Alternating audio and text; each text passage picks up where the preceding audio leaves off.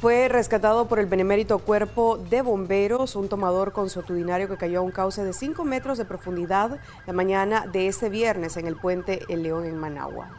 Según testigos del lugar, Marlon Espinosa, de unos 45 años de edad, miró a orillas del cauce una mochila que podría solucionar la comida del día o la botella de licor. Tratando de recogerla fue a parar al fondo del cauce de unos 5 metros de profundidad, de donde fue rescatado por miembros del benemérito cuerpo de bomberos. Este presentaba fractura en una de sus piernas. ¿Cómo te fuiste ahí?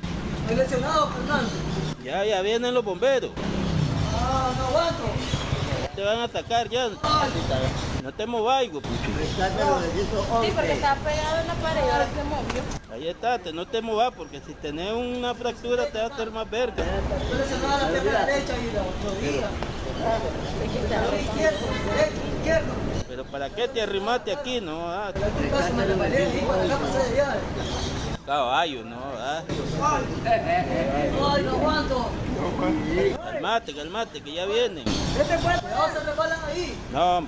El hecho sucedió en el puente León, ubicado dos cuadras y media al norte del barrio capitalino Monseñor Lescano. Supuestamente la víctima de su propia imprudencia es tomador consuetudinario y fue trasladado al hospital Antonio Lenín Fonseca. Con cámara de Erasmo Hernández, José Fran Sánchez, Acción 10.